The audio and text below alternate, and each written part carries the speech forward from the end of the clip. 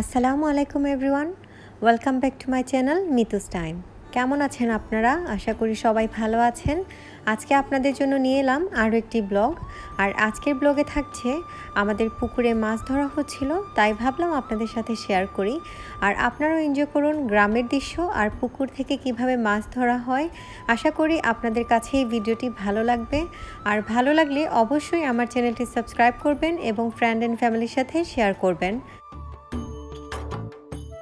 আর video শেষে থাকছে পুকুরের ফ্রেশ মাছ দিয়ে একটি কারু রেসিপি। তাহলে দেখতে থাকুন আজকের এই ভিডিওটি।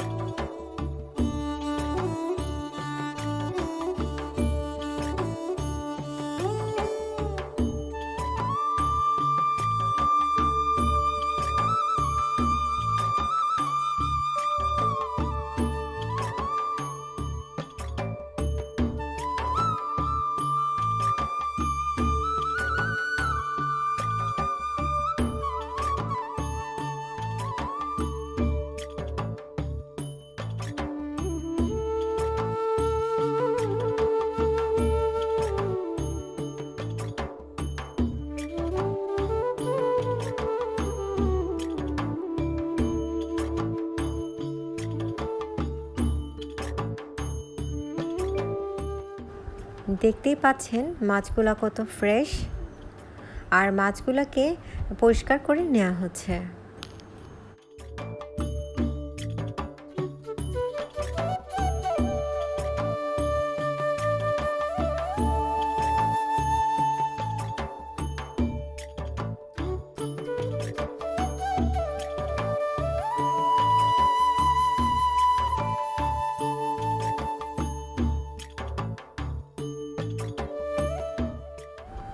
পুকুরের ফ্রেশ মাছ খেতে অনেক ভালো লাগে। এখন আমি আমাদের দুপুরে খাওয়ার জন্য একটি মাছ রান্না করব। আর আপনাদের সাথে অবশ্যই তা শেয়ার করব।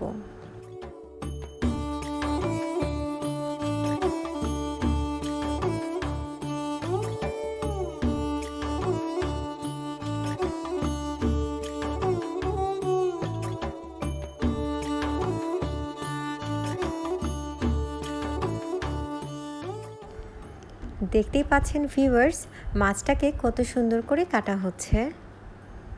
আর মাছটা কাটা শেষ হলেই আমি পরিষ্কার করে রান্না শুরু করব।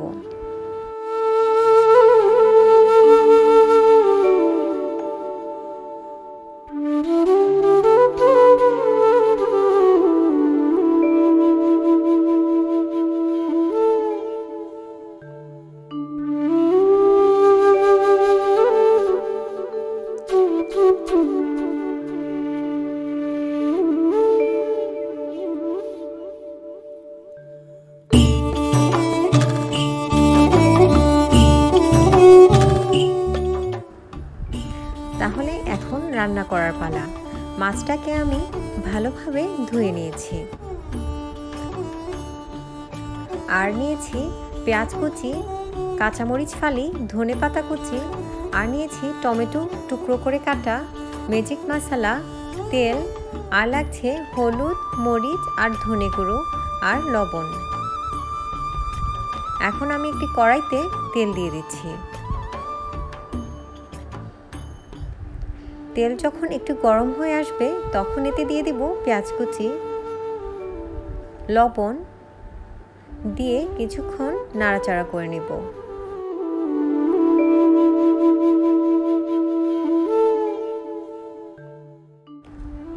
যখন পেঁয়াজটা একটু কষে আসবে, তখন দিয়ে দিব হলুদের ফাঁকি। আর আমি এখানে একটু পানি এড করে নিচ্ছি। এখানে আমি ওয়ান অ্যান্ড হাফ টিস্পুন লাল মরিচের গুঁড়ো ওয়ান টিস্পুন ধনে গুঁড়ো দিয়ে দিচ্ছি। দিয়ে আরও কিছুক্ষণ নেড়ে চেড়ে নিলাম। এখন দিয়ে দিব টমেটো। এই টমেটোটা আমি কিউব করে নিয়েছি, আপনারা, আপনাদের পছন্দ অনুযায়ী যে কোনো সাইজ করে নিতে পারবেন।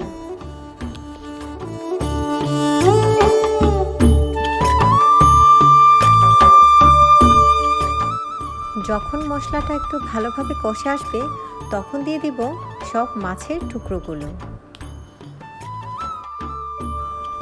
তবে খেয়াল রাখতে হবে, যেহেতু ফ্রেশ মাছ, তাই ভেঙে যাওয়ার সম্ভাবনা আছে। তাই একটু আলতো হাতেই নেড়েচেড়ে নিতে হবে।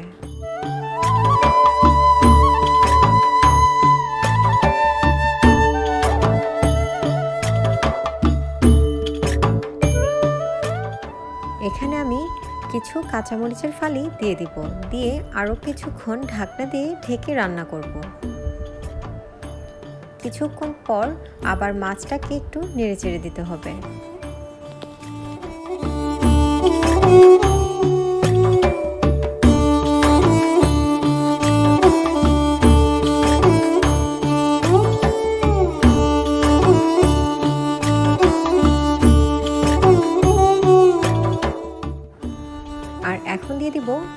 ম্যাজিক মশলা এই ম্যাজিক মশলা দেওয়ার কারণে মাছটা খেতে আরও বেশি মজা হয়। আর আমি পরিমাণ মতো পানি এড করে নিচ্ছি।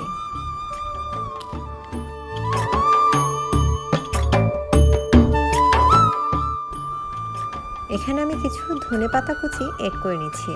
আর রান্না শেষ করে আবার আমি ধনে পাতা কুচি দিয়ে নামিয়ে নিব। এখন আরও কিছুক্ষণ মাছটা জাল হতে থাকবে। আরও কিছু পানি এড করে নিলাম।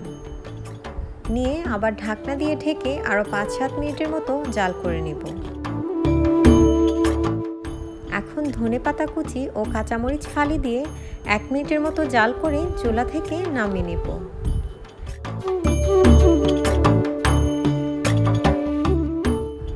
ভিউয়ার্স, দেখতেই পেলেন আমার আজকের এই ফিশ কারির রেসিপি। আশা করছি আমার এই ভিডিওটি আপনাদের ভালো লেগেছে।